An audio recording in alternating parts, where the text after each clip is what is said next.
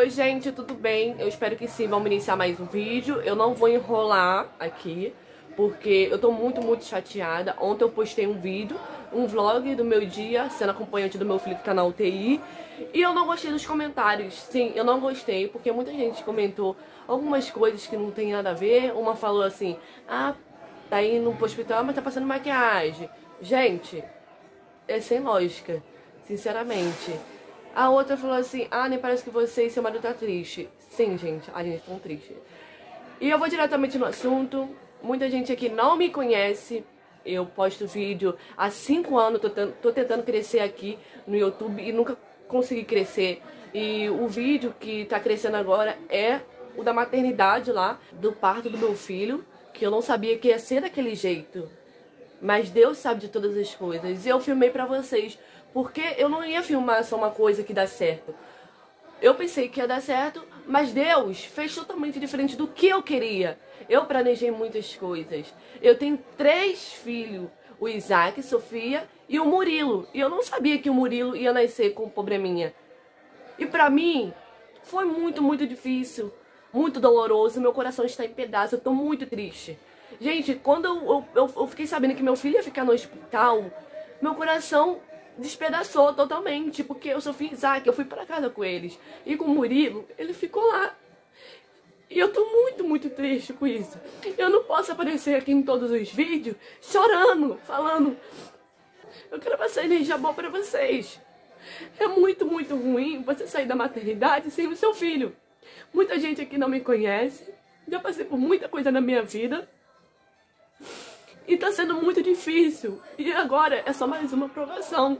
Deus está botando isso no meu, no meu caminho porque eu tenho que ser forte. E se eu não fosse forte, ele não botava, gente.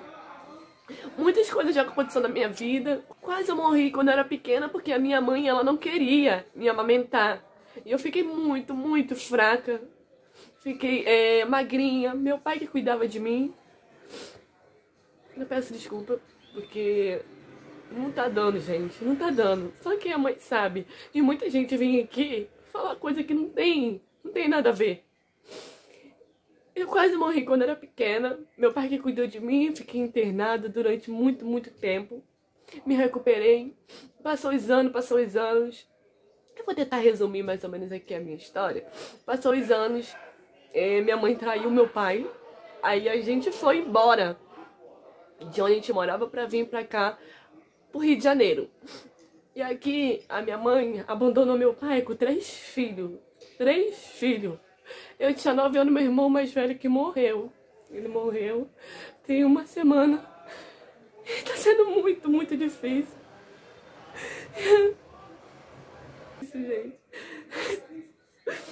Muito difícil. Meu filho tá na UTI. Meu irmão faleceu tem uma semana. E eu quero mostrar pra vocês que eu sou forte. Eu tenho dois filhos. Eu tenho três filhos. Um tá na UTI, só fiz que tá aqui. Eu tenho que mostrar pra eles que eu sou forte. Falar pra eles que o irmãozinho vai voltar. Porque ele foi tão esperado. Tão esperado, vocês não têm noção. Meu, meu marido, ele não podia ter filho. E tem cinco anos, vai fazer cinco anos que a gente tá tentando. Desde quando eu conheci ele. Assim, vai fazer quatro anos praticamente que a gente tá tentando ter um filho. Eu parei de tomar injeção e do nada veio o Murilo o primeiro filho do meu marido, entendeu? Esses dois filhos, Isaac e Sofia, é de outro relacionamento que não deu certo. Eu contei a história aqui no meu canal. Se vocês não foi ver, vai lá, que tá muito, muito legal. Foi um, um vídeo triste, mas você vai estar sabendo um pouquinho da minha história, do que eu passei com o meu antigo relacionamento, entendeu? Quando eu era pequeno, quase morri. Minha mãe traiu meu pai. A gente foi embora da onde a gente morava para vir pro Rio de Janeiro. A gente morava no Rio de Janeiro, mas era lá no interior. A gente veio pra cidade mesmo aqui do Rio de Janeiro. Aqui, minha mãe foi embora o marido da minha tia para outro lugar, sumiu e deixou três filhos com meu pai. Meu pai estava desempregado, estava vendendo bala na, no ônibus, no engarrafamento. Aqui no Rio de Janeiro tem muita gente que trabalha no engarrafamento porque a gente tem muita gente que não tem condições e tem muita gente que não consegue emprego e que é muito, muito difícil para algumas pessoas. Então a gente foi lá morar, a gente veio morar aqui no Rio de Janeiro, meu pai construiu um barraco de madeira E a gente começou a morar e minha mãe foi embora. Depois de algum tempo. Deixou três filhos, né? E foi muito, muito difícil, muito difícil, gente. Muito difícil. Meu pai criou três filhos sem emprego. Eu comecei a trabalhar no engarrafamento. Eu virei mãe praticamente dos meus dois irmãos, o que faleceu agora, e do meu outro irmão mais novo. Então foi muito difícil. Aí depois eu comecei a conhecer pessoas de, de, de, de movimento, essas coisas. Fui me envolver com pessoas erradas. E depois eu conheci o meu ex-marido. E depois que eu tive filho, eu mudei muito, muito, muito, muito, muito, muito, muito, muito. Mas eu pelejei com aquele cara, muitas coisas aconteceu. Muitas coisas, apanhei.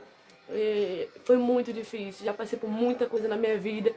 E depois que eu conheci o Daniel, eu não sabia que ia ficar com ele, né? Porque eu conheci ele pelo aplicativo. Se vocês quiserem, eu conto a história aqui. Porque foi muito, muito legal. E a gente conheceu, acho que foi em 2018 que eu conheci ele pelo aplicativo. Eu fiquei, acho que dois, três meses conversando com ele, enrolando ele.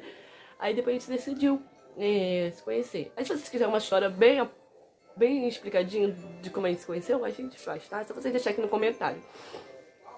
Ele não podia ter filho, ele tentou, tentou e veio o Murilo, gente. Eu não sabia que ele ia vir com alguma coisa. E ele está com probleminha mesmo muscular. Ele não foi por causa de médico, gente.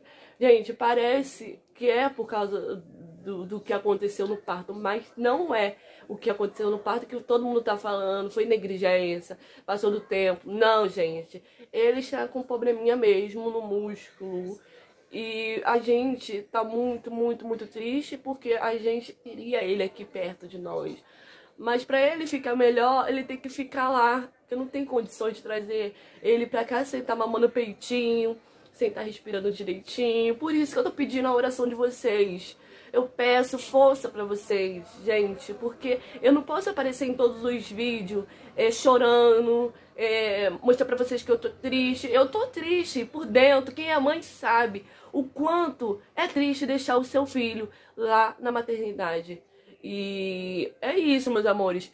Eu estou sofrendo muito, o meu marido também está sofrendo muito. Todas as vezes que a gente vai visitar ele e sair de lá, deixar ele lá, a gente chora. Mas a gente quer ser forte, entendeu? Então, eu quero ser forte pra Sofia, pro Isaac, porque tá sendo muito, muito difícil esse mês que passou. Então, eu espero muito, muito que vocês entendam, porque é difícil. É difícil, mas eu sei que um dia tudo passa, né? Nessa vida tudo passa. Felicidade, tristeza, agonia, tudo passa. E eu tenho fé que meu filho vai ficar curado e vai vir para casa. E eu vou mostrar tudo para vocês. Então você, você que não entende, por favor, não comente coisas que, que deixam a pessoa triste, porque eu já tenho ansiedade. Então, ontem eu fiquei numa crise de ansiedade muito, muito forte. Bebi remédio para poder dormir, porque eu não tava conseguindo dormir, gente. Por favor, o meu sonho era ter crescido no meu canal há muito, muito, muito, muitos anos atrás. Eu faço vídeo há muito, muito tempo, mas nenhum vídeo, assim, cresceu, cresceu do jeito que tá crescendo agora, o do, da maternidade, tá? Então, eu não esperava que isso ia acontecer com meu filho.